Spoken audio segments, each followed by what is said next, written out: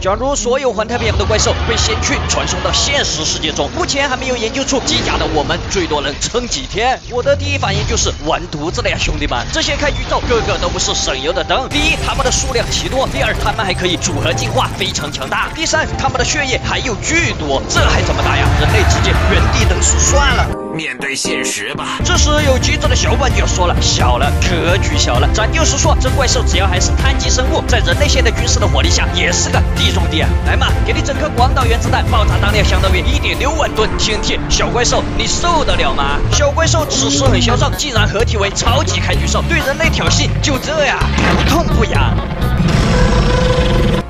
看，嗯，有点东西。小男孩不行，直接安排一颗大一万，大一万沙皇炸弹，爆炸当量五千万吨 TNT，爆炸冲击波绕地球三圈，导致整个欧亚大陆难以九毫米。大一万一出手，地球都要抖三抖。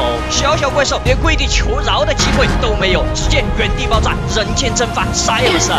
哇，用核武器打击人类的代价也有点大。如果怪兽城市里用核弹解决，城市肯定被摧毁。一来核辐射会杀死人类，二来怪兽的尸体血液。有剧毒，直接导致城市成为人类禁区。这种伤敌一百，自损三千的作战方式，对子孙后代来说，咱也没法交代呀。看来用核武器还是不怎么现实。兄弟们，抵抗环太平洋怪兽还有什么好办法吗？